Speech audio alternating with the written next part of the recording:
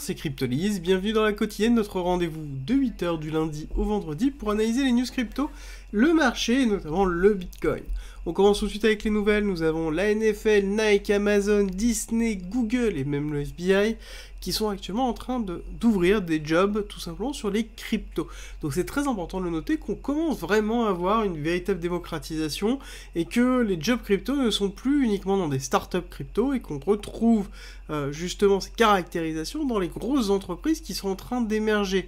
On avait déjà vu notamment les, les, solutions de paiement comme Visa qui avait commencé à créer des tout simplement d'échange autour de la crypto ou des euh, commencer en fait à proposer des stages et à recruter des personnes euh, très jeunes. Donc du coup, on a vraiment cette notion euh, d'émergement au niveau de la crypto-monnaie et on voit qu'il y a un véritable besoin au niveau des boulots et je trouve ça excessivement positif pour la suite. On continue, nous avons le maire de Miami, qui, est, qui, est, quand même un fervent défenseur euh, des cryptos depuis un certain temps, qui nous l'a prouvé plusieurs fois, a quand même annoncé que nous avons besoin d'intégrer Bitcoin dans tous les aspects de notre société. Donc c'est excessivement positif de voir des personnes politiquement engagées, avec des responsabilités quand même conséquentes, euh, justement prôner les crypto-monnaies je pense que c'est excessivement important par la suite, à savoir que c'est la personne qui a ouvert notamment, si je dis pas de bêtises, le centre euh, Bitcoin lors de la conférence avec notamment l'exposé du magnifique euh, boule euh, un peu high-tech. Donc je vous invite à regarder la vidéo, c'est très sympa à voir. En tout cas, ça donnait envie d'y être malgré le fait que le Bitcoin était en correction à ce moment-là.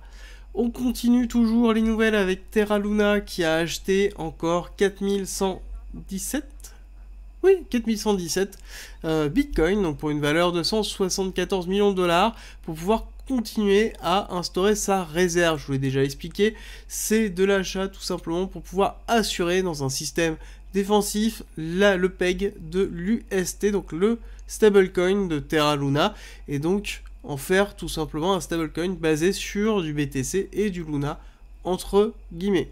On continue un petit peu les nouvelles avec notre ami Polygon qui n'arrête pas, je vous en ai parlé plusieurs fois, Polygon c'est une machine de guerre, et en l'occurrence ils ont commencé à annoncer Polygon Avail, qui est un des produits, alors ils en ont plein, ils ont Polygon ID par exemple, ils ont beaucoup de projets qui sont en cours, mais notamment il y en a un qui euh, m'intéresse énormément et qui a annoncé, qui est Polygon Avail, qui est globalement leur blockchain spécialisée dans la disponibilité des données.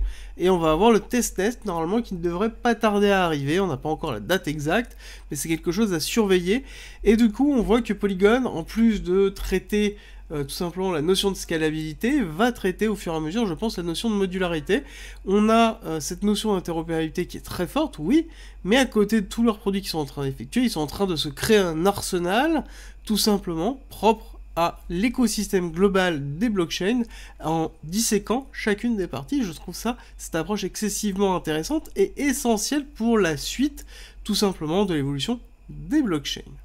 Alors, toujours dans les nouvelles, c'est pas pour aujourd'hui, mais je vous l'annonce quand même, je vous ferai un rappel. Jeudi, nous avons prise de parole de la BCE, avec notamment la facilité, pardon, de prix marginal de la BCE qui va être annoncée, qui est à l'heure actuelle pricée à 0,25%. Bon, est-ce que ça a bougé ou pas? Et derrière, nous avons bien évidemment la déclaration monétaire de la BCE qui pourrait influencer énormément, surtout qu'on connaît très bien la BCE. Ce n'est pas des fervents défenseurs de la crypto-monnaie, donc est-ce qu'on va avoir quelque chose qui va être assez agressif? Ça va être à déterminer. Rejoins-nous sur Discord. Tu y retrouveras notamment ma stratégie d'investissement qui est disponible gratuitement. Je montre comment je construis mon bag, le fonctionnement de mes optimisations, quand acheter, quand vendre, tout pour éviter justement les principaux pièges. Si tu aimes mon contenu, like, partage et abonne-toi, ça m'aide énormément. C'est tout pour les nouvelles, on attaque directement le BTC. Petit rappel habituel, nous sommes dans un schéma héliotiste de vague 1, vague 2, vague 3 terminant en avril 2021. Nous sommes dans le retracement de la 4 avec un A, B, C. Actuellement, le retracement A est égal au point le plus bas de la C. Et donc du coup, on pourrait se dire qu'on va terminer. Mais étant donné qu'on a fait une incursion au niveau de la B, une extension, donc on pourrait supposer une extension au niveau de la C aussi, avec une prise de liquidité en dessous des 30 000 dollars, parce que nous avons énormément de liquidité laissée par cet Equalo ici, et un gap au niveau du CME qui attend d'être comblé depuis un certain temps. Donc pourquoi pas, donc on défend cette Euh, hypothèse, hypothèse qui sera invalidée avec une cassure franche et validation de la cassure sur les 52 250. Et nous avons derrière un BCARST saut, donc une réaccumulation de Wyckoff, quelque chose qui est excessivement bullish. Donc on attend derrière, une fois qu'on a terminé le saut, un, un UT, pardon, et ensuite possiblement un UTA, donc c'est-à-dire de nouveaux ATH. Mais on attend la fin du saut, et pour cette fin du saut, il est normalement attendu dans euh, les schémas de réaccumulation et de distribution de Wyckoff de passer en dessous de la R, donc passer en dessous de ce niveau-là, mais dans une réaccumulation, ça reste quand même moins fréquent, donc il est possible de s'arrêter ici. Néanmoins, nous avons dans cette C un découpage en 5 vagues, 1, 2, 3, 4, 5. Donc on attend la cinquième vague qui va être en cours. À savoir que cette quatrième vague est découpée en A, B, C, avec derrière un A qui est égal à un C par rapport au niveau qui a été donné ici. Donc on se retrouve quand même sur quelque chose qui est assez cohérent. Pour l'instant, on n'a pas de point d'incohérence. La seule point d'incohérence serait un break, comme je vous ai dit, des 52 000.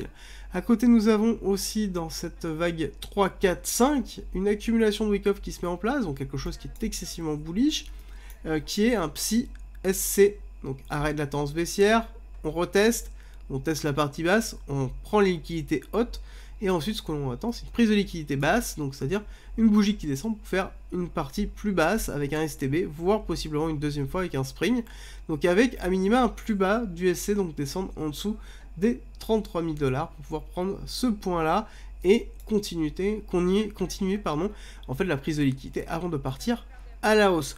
Donc c'est exactement ce qu'on se garde en tête depuis un certain temps. Si on regarde la vue 1 heure, dans cette accumulation, nous avons aussi une distribution avec un BC ARST SO UT.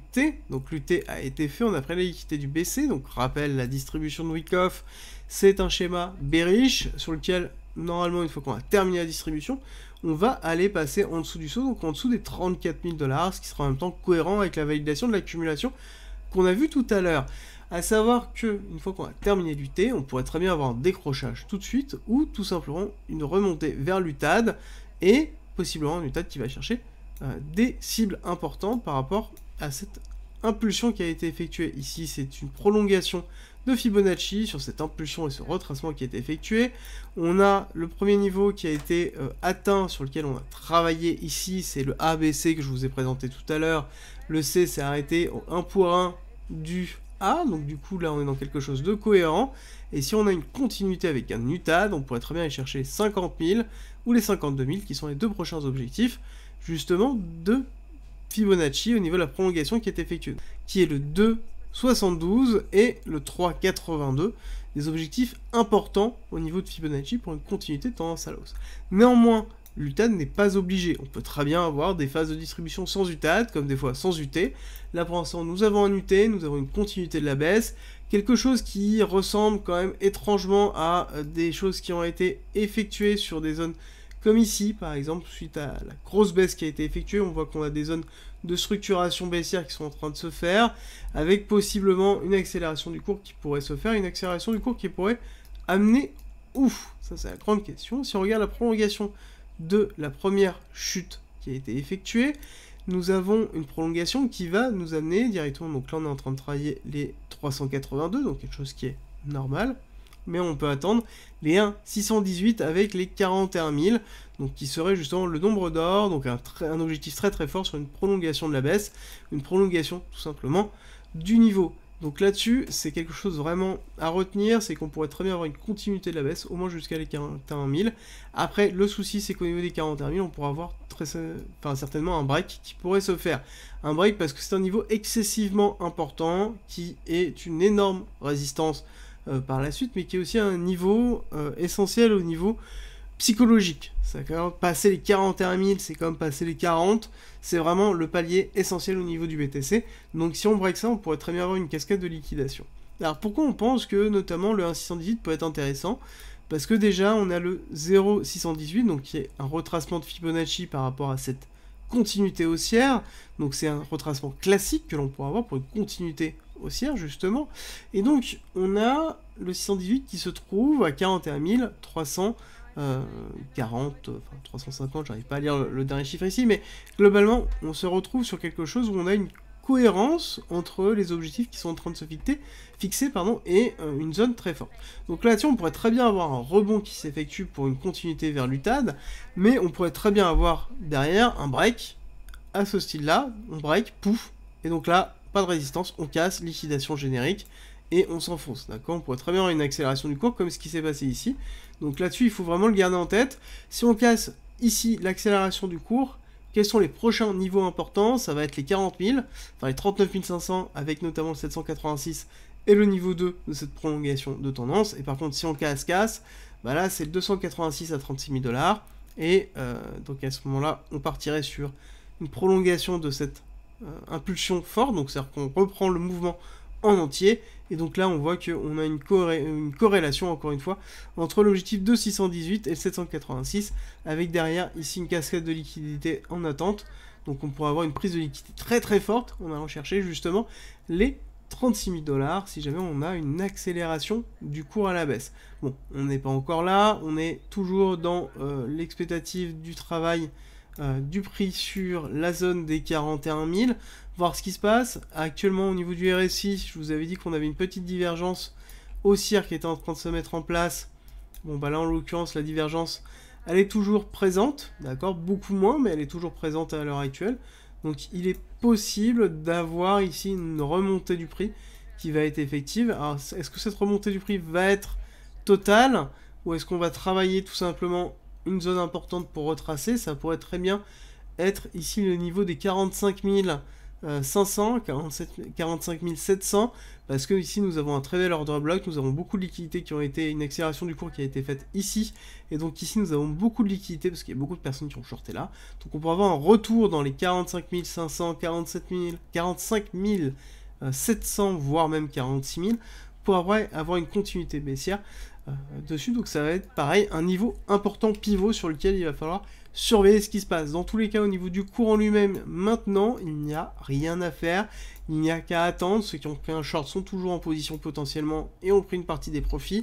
Ceux qui attendent les longues, là, ça ne sert à rien d'acheter du long. D'accord? Parce que tout simplement, là, la seule chose qui va se passer, c'est que vous allez vous retrouver comme ceux que je vais vous présenter dans quelques secondes.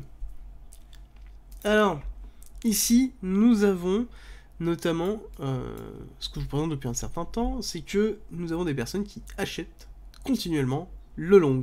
D'accord? Donc c'est-à-dire que plus le prix baisse, ici nous avons le prix du BTC, le prix baisse, on voit que le pourcentage, la ligne verte, et le pourcentage de long, donc de personnes étant en position longue, et on voit qu'on a beaucoup de personnes qui achètent ça, et qui achètent en plus ici sur l'Open Interest, on le voit à levier. Donc c'est-à-dire qu'ils mettent tout simplement des fois sur leur position et donc qui accentue la liquidation possible, donc la liquidité aussi présente euh, justement euh, au sud du cours. Donc c'est-à-dire qu'on pourrait très bien avoir une accélération baissière via une forme de long quiz avec une liquidation globale et donc quelque chose qui peut se faire. Quand nous avons du momentum sur un mouvement qui est en train d'être fait, on ne part pas à contre-tendance. C'est évident. Là actuellement, la tendance en une heure, c'est une tendance qui est à l'heure actuelle baissière. C'est-à-dire que si on regarde ici, nous avons tendance, nous n'avons pas d'inversement de, tendance, on est dans tout simplement un retracement de cette tendance haussière. Donc là, dans cette frame ici, nous sommes en baissier, donc ça ne sert à rien d'acheter. On attend tout simplement, soit si vous êtes chartiste, vous attendez des structures, des W ou des choses comme ça. Si vous êtes euh, très wickoffien, vous allez attendre une accumulation ou tout simplement quelque chose qui va vous donner euh, soit quelque chose comme une redistribution avec une continuité à la baisse ou une accumulation avec euh, un retournement de situation. Si vous lisez les bougies, vous allez attendre des bougies spécifiques et des schémas de bougies pour pouvoir repartir. Là actuellement, nous n'avons rien. La seule chose que l'on a, c'est potentiellement une divergence du RSI qui nous dit qu'on va aller à la hausse. Oui, mais il nous manque encore des informations tant que, notamment, on n'a pas break ici les 44 000, donc repris la liquidité là-dessus, on n'a pas une inversion de tendance, d'accord? On ne fait pas des hauts plus en plus hauts. Donc on doit avoir un break of structure mineure avant de pouvoir se dire qu'on à la hausse. Voilà. C'est un petit peu l'idée globale que l'on a. On retourne sur cette partie-là, donc là-dessus c'est assez dangereux. On soit d'accord, ça c'est excessivement dangereux parce que plus on va monter d'ailleurs, là on est monté à 1,7. Il est possible même qu'on retourne dans les 1,8 euh, monte dans les 1.8, là on va se retrouver sur un, long squeeze qui va être euh, assez, violent et je pense une accélération du cours. Autre chose que je vais vous montrer, c'est première chose, c'est qu'on reste dans les 32. bon, potentiellement on peut continuer à descendre, ça c'est dangereux. Euh, plus on va descendre, plus on risque d'avoir une capitulation et donc une accélération du cours à la hausse, enfin à la baisse pardon, euh, qui pourrait se faire. Est-ce que c'est pas non plus ce que les market makers souhaitent? C'est la question qu'on peut se poser par rapport à ça. On continue, je vous ai pas présenté souvent ça, pourquoi? Euh, notamment à un moment donné, je vous montrer souvent l'open interest by strike, parce que tout simplement nous n'avons pas d'option, enfin en tout cas de volume d'options sur l'open interest by strike. C'est-à-dire que là, si on regarde ici, nous avons les total value des options qui sont données. D'accord? Là, euh, on a un petit peu monté sur le, 29 avril, donc euh, je vous présente pas parce qu'on n'a pas bougé, on est toujours dans les 42 000, mais on est à 1,6 milliard, je crois, si j'ai pas de bêtises, j'ai regardé ce matin. Mais sur ceux des euh, vendredis habituels, où je vous montrais régulièrement, il n'y a pas de volume. D'accord? Donc on est à moins de 100 millions à chaque fois. Euh, c'est suffisamment ridicule pour euh, tout simplement le mettre de côté. Il est évident que le prix ne va pas bouger vers le max price, euh, tout simplement parce que le volume est trop faible. C'est-à-dire que le coût pour pouvoir bouger le prix dans une direction peut être colossal en fonction de comment ça peut se passer. D'accord? Et donc du coup les market makers n'ont pas forcément intérêt à faire bouger le prix de ce côté-là par rapport aux options, si jamais ce n'est pas intéressant. Il est évident aussi que eux vont tout simplement faire ce qui est le plus rentable. Si le rentable, c'est tout simplement d'aller faire un cluster de liquidation euh, derrière, ils iront faire un cluster de liquidation. Si le plus rentable, c'est ne rien faire, ils ne feront rien. Et ça, c'est important de le retenir, c'est que là, ça ne sert à rien de regarder l'open interest by strike, parce que les volumes sont trop faibles. 1,6 milliard euh, en avril, on pourra se poser la question, mais est-ce que c'est suffisant? Pareil, est-ce que c'est suffisamment? Ça, ça va être à déterminer par rapport à ce moment-là. On est encore le 10, euh, le 11 avril, pardon, euh, aujourd'hui, au moment où je vous fais la vidéo. On est le 11 avril. Est-ce que euh, ça va monter par la suite, certainement, donc on verra à ce moment-là. On continue un petit peu l'analyse, on en profite pour faire un petit tour au niveau des indicateurs. Euh, Ishimoku, notamment en weekly, je vous avais dit, il faut faire attention parce qu'on risque d'avoir euh, une continuité au niveau du Kumo. On voit qu'on est en train d'arriver ici sur une zone très intéressante de résistance, donc potentiellement pour avoir une continuité à la hausse qui pourrait se faire. Par contre, si on break ici, ça veut dire qu'on va arriver sur le bas du nuage, et si on break le bas du nuage, bah là, il n'y a plus rien qui retient. Hein. Là, il n'y a plus rien. C'est en mode PLS, et euh, là, on break. Euh, là-dessus, au niveau d'Ishimoku, le prochain aplat, il se trouve à 30 000, hein. donc 31 euh, 000, donc il se trouve ici. Et c'est pas forcément un gros gros aplat, donc ça risque de poser problème derrière. On a quelque chose qui n'est pas forcément bullish en termes de weekly. Au niveau d'Ishimoku, au niveau daily, je voulais faire un petit point. Je vous avais dit que c'était plutôt correct. Le problème, c'est que entre temps, il s'est passé beaucoup de choses. On a euh, break les derniers niveaux de support, on est encore en positif au niveau du Kumo, la LS commence à se rapprocher du cours, euh, là-dessus si on break au niveau de la LS, alors par contre ça va être compliqué à passer. Hein. Mais si jamais on passe qu'on arrive à passer facilement et qu'il n'y a pas trop de résistance, bon ça veut dire qu'on risque d'avoir une inversion de tendance qui est en train de se faire, notamment là on commence à voir euh, on commence à avoir une crosse qui est en train de se mettre en place. Hmm, c'est pas forcément bon signe. Bon, après, le Kumo est quand même bien épais et bien vert ici, donc on a encore un petit peu de marge en délit, mais il va falloir surveiller vraiment des ce qui va se passer par rapport à ça. On commence à avoir des signes euh, qui sont pas forcément encourageants. Il est important au niveau du délit, notamment, de pouvoir faire un rebond au niveau du Kumo et de pouvoir euh, remonter ici. Donc, potentiellement, on pourrait se dire 41 000. 41 000, ça me paraît cohérent, là, au niveau de la plaque qui se trouve ici on arriverait sur le Kumo ici, euh, pour suivre derrière. Ce serait en même temps cohérent par rapport aux objectifs de continuité de baisse qu'on s'était fixé euh, par rapport à ça, donc ça va être à suivre, voir un petit peu ce qui va se passer par rapport à, justement à l'évolution globale du BTC et du marché. en parlant de marché, nous avons ici un, tout simplement le breakout qui avait été fait. Je vous avais dit qu'il y avait euh, tout simplement une divergence qui était en cours et qui était gênante. Euh, parce que si elle était validée, ça voulait dire qu'on descendait, mais on voit que là, actuellement, on a quand même une baisse de liquidité qui sont en train de se faire.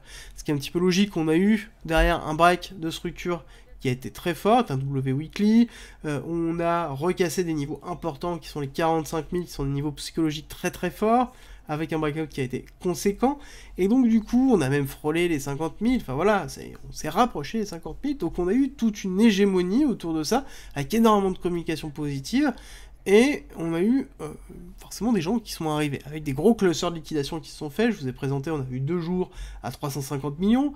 Euh, donc on a liquidé beaucoup de personnes. Et donc du coup, bah, ces personnes ne sont plus forcément là. Et euh, on, retrouve forcément un abandon des gens qui sont en train de se faire actuellement.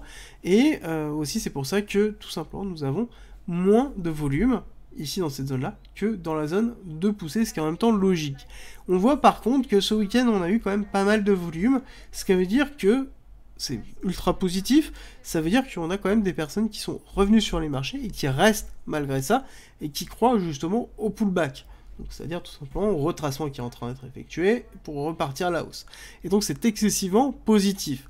Après, ce qui serait excessivement positif pour le marché, parce que là on est sur la capitalisation totale boursière des cryptos, donc qui représente euh, le monde des cryptos, la capitalisation boursière du monde des cryptos, ce qui serait excessivement positif, c'est de retrouver un BTC qui se met à ranger tranquillement là, pou, pendant peut-être une semaine, de façon à pouvoir structurer un petit peu le cours pour pouvoir repartir à la hausse et avoir derrière ici une capitulation qui va remonter durant ce ranging, parce que quand on range, qu'est-ce qui se passe? Ben, Les altcoins poussent, et donc on se retrouverait du coup sur les performances au niveau des altcoins, et donc ce serait excessivement intéressant. Le gros mais, et ça c'est un très très gros mais, c'est ça, les indices, le Nasdaq et le SP500. Voilà, on commence à avoir une journée qui s'engouille pas forcément super bien, bon, on va voir est-ce qu'on va être capable de ravaler ou pas. Mais on est toujours dans un retracement qui est effectué. Je vous l'ai présenté la dernière fois. C'est qu'on était en train de casser le niveau de Fibonacci de 382.